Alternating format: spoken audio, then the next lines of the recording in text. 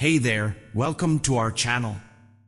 In this video, we're going to take you on a journey through the different stages of a rocket launch and ascent into space, explaining what happens to the human body and how astronauts cope with the unique conditions of spaceflight.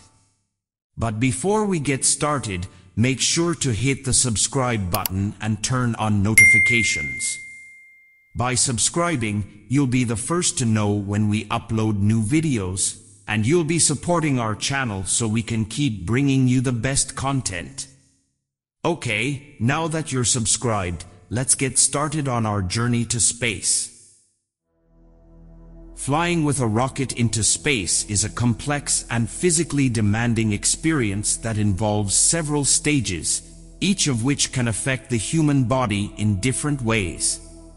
One of the most significant challenges of flying with a rocket to space is the effect of g-forces on the human body. G-forces are the forces that act on the body as a result of acceleration or deceleration and they are expressed in multiples of the force of gravity. During launch, the g-forces experienced by the body can be so intense that they can cause loss of consciousness or even death if not managed properly. To counteract the effects of g-forces, astronauts undergo rigorous training programs to build up their tolerance to these forces. They also wear specialized suits that help to distribute the g-forces evenly throughout the body, so that no one part of the body experiences more stress than another. Another challenge of spaceflight is the effect of microgravity on the human body. In microgravity, the body experiences a state of weightlessness, which can cause several changes that can affect health and well-being. For example, without the pull of gravity, blood and other fluids tend to move towards the upper part of the body, which can cause a feeling of fullness or congestion in the head.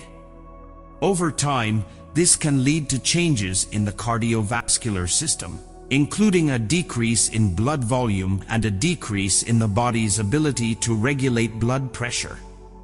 To counteract the effects of microgravity, astronauts must undergo regular exercise programs to maintain their muscle and bone mass. They also follow strict diets that are high in vitamins and minerals to ensure that they get the nutrients they need to maintain their health. Now that we have a better understanding of what happens during a rocket launch and ascent into space, Let's take a closer look at the critical first and last minutes of the mission and the changes that astronauts experience during these intense and challenging moments. The first stage is the launch, during which the rocket experiences intense vibrations and acceleration forces. The acceleration can range from 3 to 8 times the force of gravity, 3 to 8 gs depending on the type of rocket and its trajectory. The human body is not used to such intense forces, and they can cause discomfort, nausea, and even loss of consciousness if not managed properly. To protect themselves from these forces, astronauts wear specialized suits that distribute the g-forces evenly throughout the body. These suits also help to regulate the body's temperature protect against radiation, and provide oxygen and other essential gases. The second stage is the ascent, during which the rocket climbs higher and higher into space. As the rocket leaves the Earth's atmosphere, the g-forces gradually decrease and the body begins to feel weightless. At around 100 kilometers above the Earth's surface, the rocket reaches the edge of space also known as the Kármán line. At this point, the body is completely weightless and the sensation can be described as a feeling of floating. The third stage is the altitude during which the rocket continues to climb higher into space. At around 20 kilometers above the Earth's surface, the body enters what is known as the death zone. In this zone, the air pressure and oxygen levels are so low that human life cannot be sustained without artificial life support systems. astronauts must rely on their spacesuits and the life support systems in the spacecraft to survive in this environment. The fourth stage is microgravity, which is experienced once the rocket is in space. In this state of weightlessness, the body undergoes several changes that can affect health and well-being.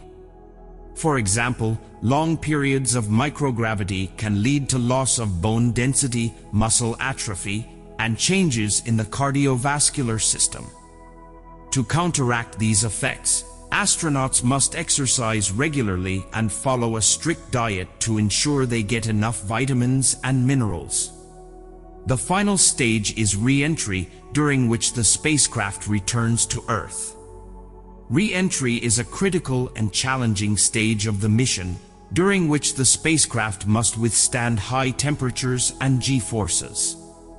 The heat shields of the spacecraft protect the crew from the extreme heat, while the spacecraft's descent is carefully controlled to minimize the g-forces experienced by the body.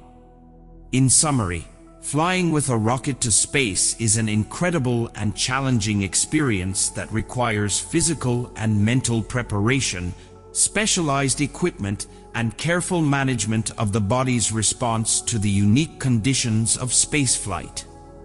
While it can be physically demanding, it is also a profound and life-changing experience for those who have the opportunity to undertake it.